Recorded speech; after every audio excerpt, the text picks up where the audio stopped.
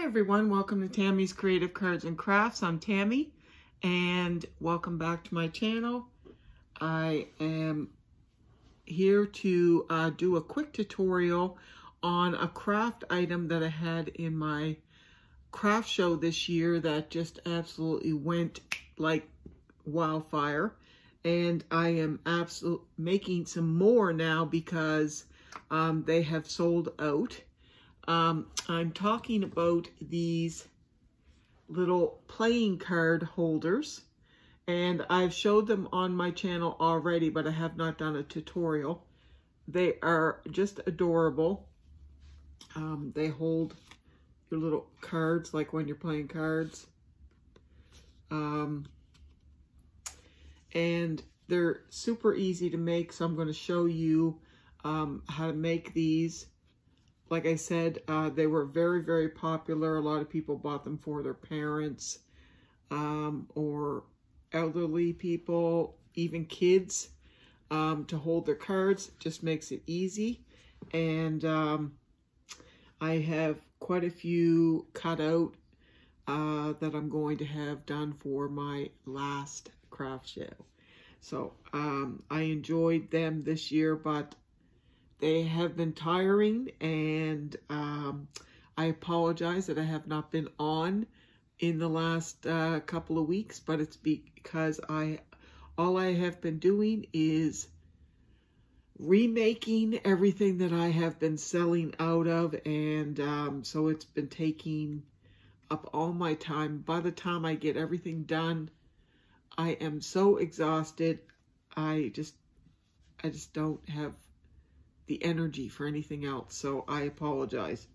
So I will, I'm on today to show you how quickly to make these cute playing card holders. So what you're going to need is you can use any uh, material scraps that you might have or uh, if you have like a fat quarter, um, any material scraps, it doesn't take uh, very much material to make one of these at all. You're going to, you're also going to need two, two CD or DVD um, DVDs. Now, a lot of people don't use uh, CDs or DVDs anymore. Um, so if you have any that, you know, you used for music a long, long time ago or they're not in use, you can use those. Um, I went to Amazon and I just bought like a 50 pack um, like this. Um, so you can do that as well. So you're going to need two of these and uh, two pieces of material, which I'm going to show you how to cut that in a second. You're also going to need some of this thread. It's almost like a cord. It's actually called um, Isacord. It's by Amann Group. This is one of the ones right here that I had found. And I have the black in the same. And that's about the most information I can give you on it. Um, it's not a polyester thread and it's not um, a cotton. You need something that's super, super, super strong that when you pull this with all your might, you can't not break. Um, but it's still able to go through your needle on your sewing machine, okay? If you do not have a sewing machine, you can definitely do this by hand. So that's another uh, option as well. So you're going to need some of this. You're also going to need two buttons of choice, whatever buttons you might like. Um, I have I have this little buttons, these little buttons here that I ordered from Amazon as well. They come in all the different colors, so I'll pick out some cute colors here. Like there's some nice green in this, so I may put the the green in the middle there. That goes nicely with it. So we'll get to the buttons uh, later, but you're going to need two buttons to go with whatever your um, material is. And so the buttons are going to go in the, in the middle. You're also going to need just a basic needle and thread. And your thread can just be, you can use this type of thread, or you can use just a polyester or cotton thread. It's basically just to sew your buttons on. Okay? So, um, what you're going to do is, for your material, oh, I apologize, you're going to need two pieces of interfacing as well. And I use the fusible because it's easy. I can just put it down and iron that on right into the center of my material. And then I don't have to think about it. Um, it stays in place. It's not going to move around. So any fusible uh, quilting interfacing. Okay, just has a little kind of cushion there. Okay, so for your material, basically what you're going to do is take your CD and that is the size you're going to cut your, your interfacing out to be, okay? The same size as your CD.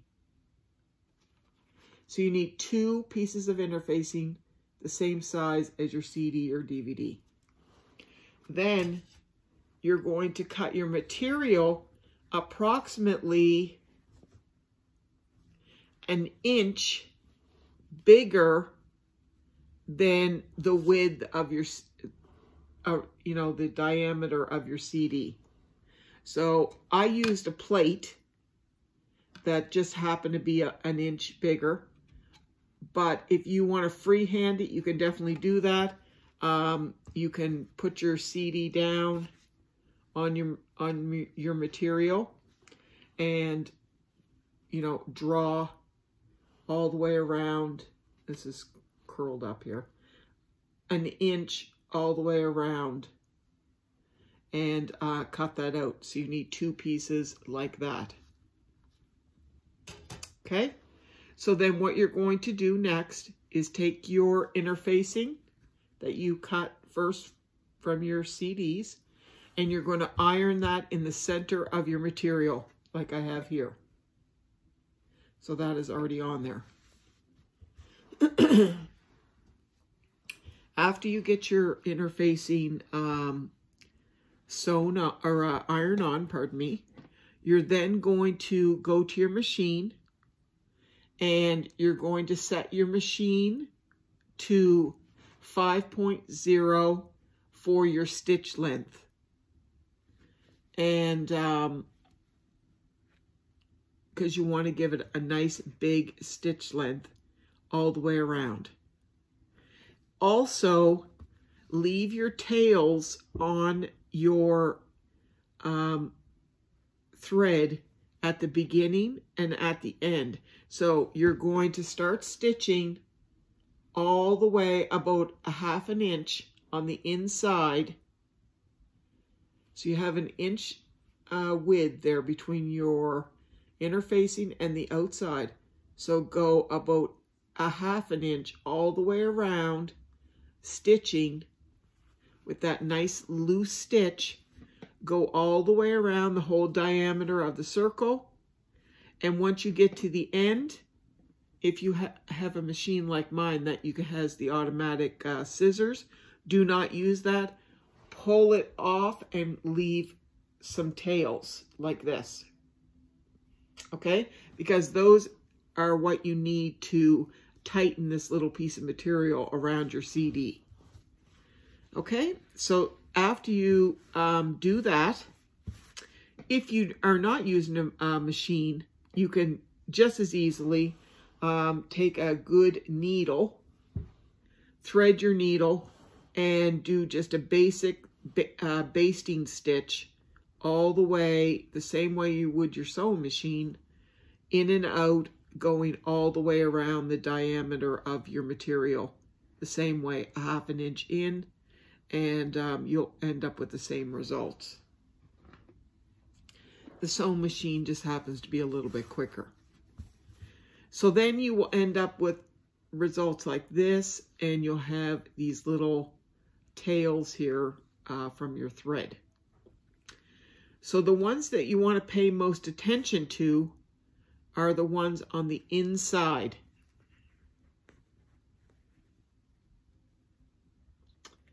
Just going to grab a hold of these here.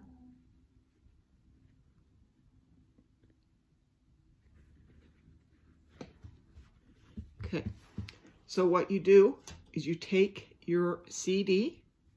I'll try to do this up here so you can see it. So you take your CD, you place it on top of your interfacing, like that, right in the middle there.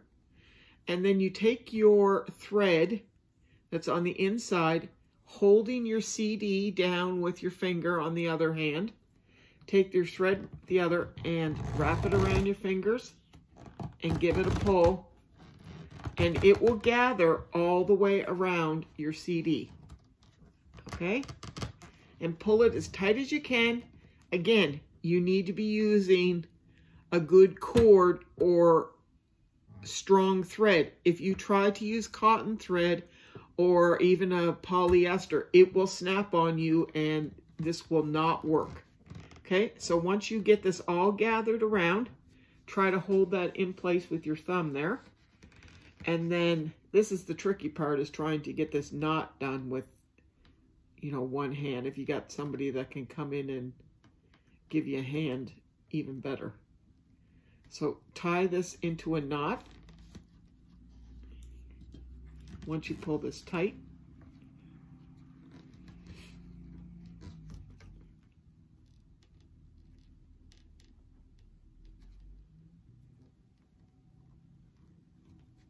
Like I said, this is probably the, the trickiest part right here, is tying this in a knot, keeping it tight, so.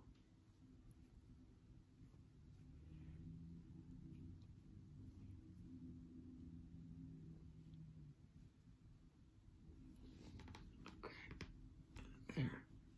And then I always tie it a couple more times um, just to secure it. This keeps it nice and tight there.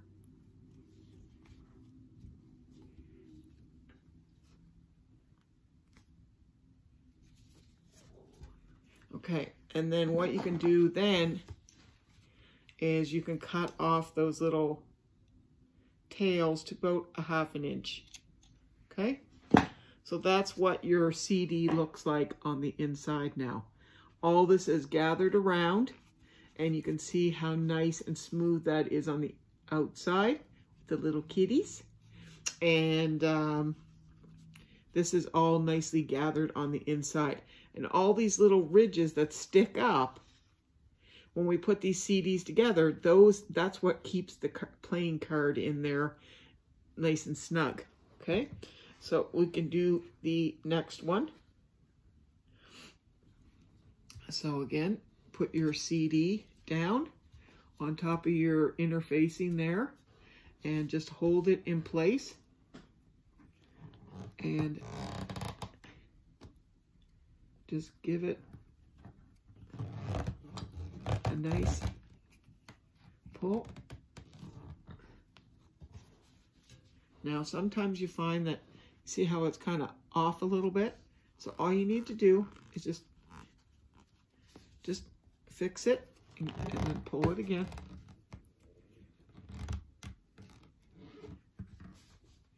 And sometimes I've had some that I pull it and uh, it snapped on me. But you know what? There's four little tails. See, just like that.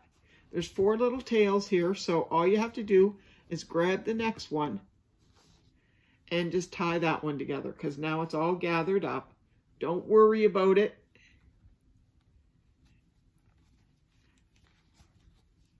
There's always ways to fix things and um,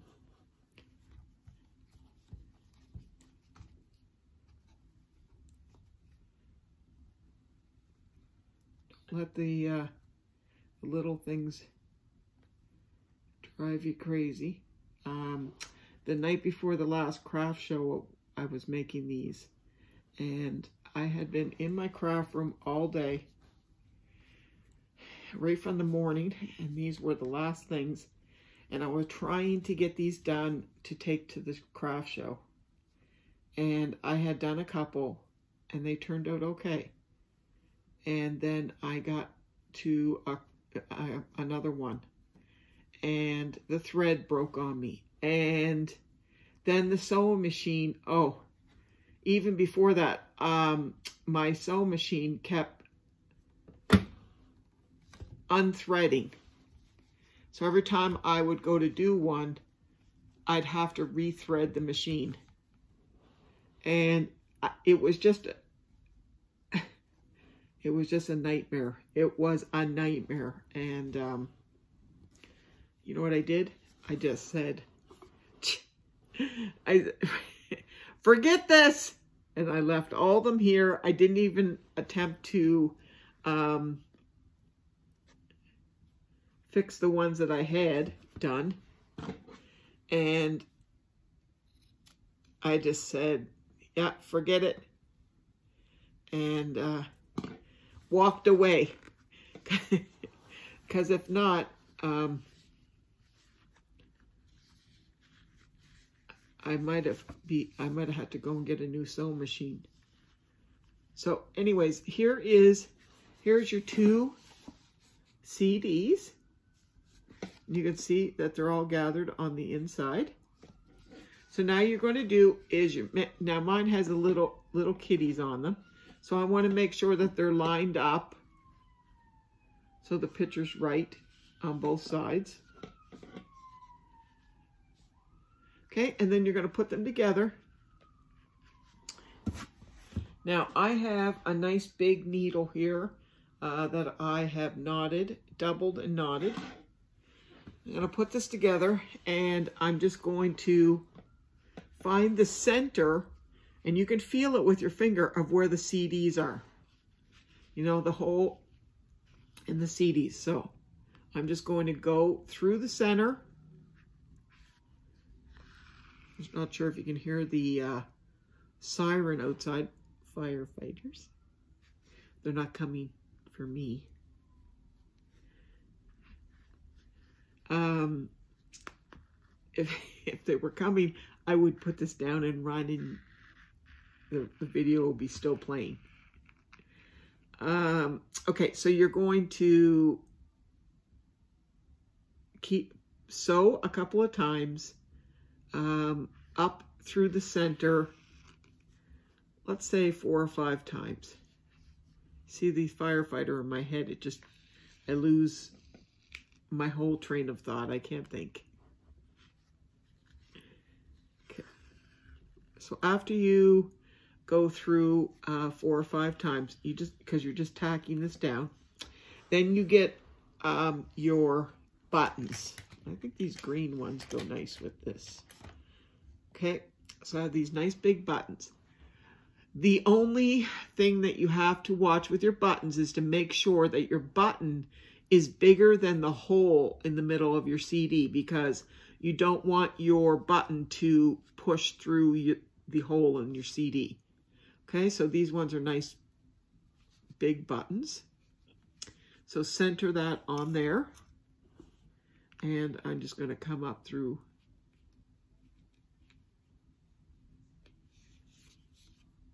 through the center there. Now you can have, they don't have to be four hole like these. They can be two, uh, whatever ones you like. Now I'm just sew sewing uh, this side on first.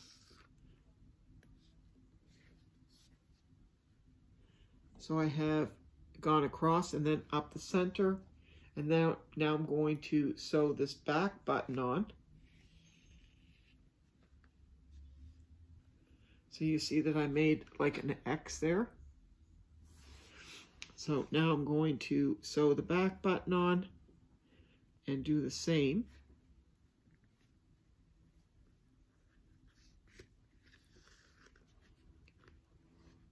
trying to make sure that you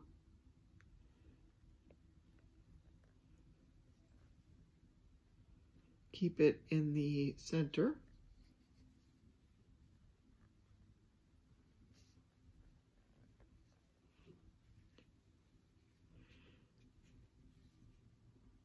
I know that, uh, that Christmas is coming on us very quickly.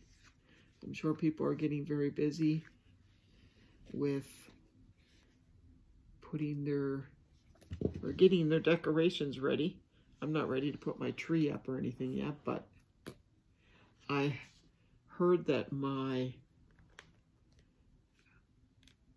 daughter has started to decorate. And I, was, oh, I think she was starting to even put her tree up. Too soon for me. I'd like to put it up about mm, the first week in December.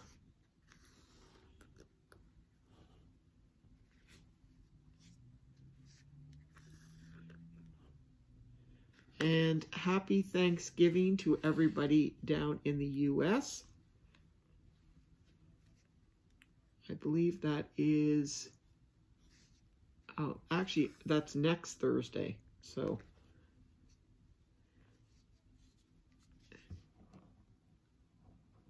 it's a pre celebration. Happy Thanksgiving. We've had our Thanksgiving in Canada. Hers is back in October.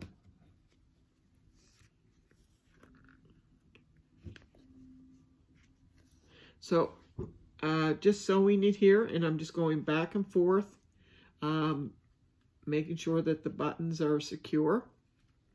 And just a couple more through here. You want to make sure that it's nice and, um, you know, secure.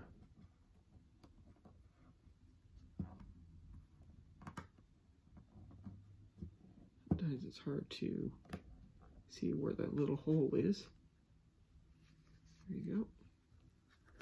Okay, so once I get it um, to where I feel that I put enough through on the button, so now what I'm going to do is take my needle and go under my little X. Do you see that? And I'm going to go under the little X with the needle and then go through those threads and pull them tight to make like a little knot. And then I'll go the other way under the X. If you can see, see I'm going under the X, okay? And then pull it through and then these little threads here, I'm going to take my needle, go through those to make like a knot when you're ending on a garment and just pull it tight. So now I'm going to go down one of the holes to come out on the other side.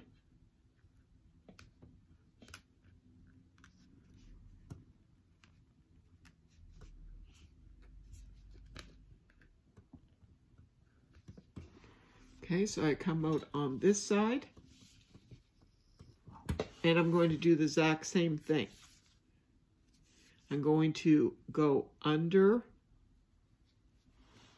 under the X. And put my needle through the thread there. And then go the opposite way. And, and put it through. Okay, and I'll do that one more time just because this is where I'm going to cut it off here.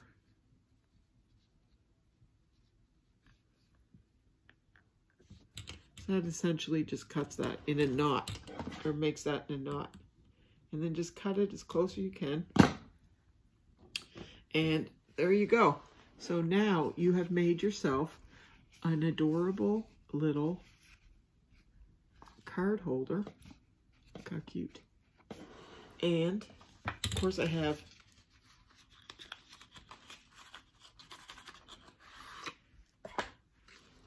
dog cards. Of course I would have dog cards, right? And you can um, just take these and they, when you put them in, like you're playing cards.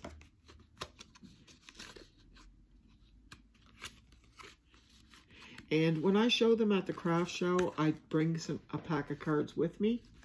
And I should, should them the other way here. Uh, I bring a pack of cards with me and I display them like this so people actually know what they are. And I'm telling you, these sell like hotcakes. I sell these for $5. Um, I probably could get more for them, but I, I sold them very well at five, and uh, there's not much to making them. Um, the cost involved, um, the CDs, I, I probably, the cost involved might be a dollar fifty, if that. And um, so they're, I think they're worth it. It doesn't take long to make them. Um, other than if you have problem with the thread and pulling them tight. Uh, that's the only frustration. But once you get a hang of, the hang of it, um, they go really well. And like I said, people really love them. They make great stocking stuffers. And um, they'll last for years and years and years. Who wouldn't love to have, you know, be playing cards and have one of these? It's not just for older people, for just, for, I'm going to make one for each of my kids who are 30 and 28 and um, put them in their stocking and one for my granddaughter and the whole family. So we have game nights and stuff and I can't wait to see them playing with those. So I hope that you liked the tutorial for the playing the playing cards holder. And um, if you're not a subscriber of my channel, please subscribe. I'm so, so, so, so close to a thousand. And um, a thousand subscribers, which I've been waiting so long to get to. So please um, pass this video to a friend, share with a friend like the video, and um, please subscribe. We'll talk to you very, very soon. Um, good luck at your craft fairs, or if you're just making them for stocking stuffers, or just making one for yourself. Good luck. Have fun with it, with whatever you decide that you want to craft today, and just be kind to others. That's the most important thing. God bless everyone. Bye-bye.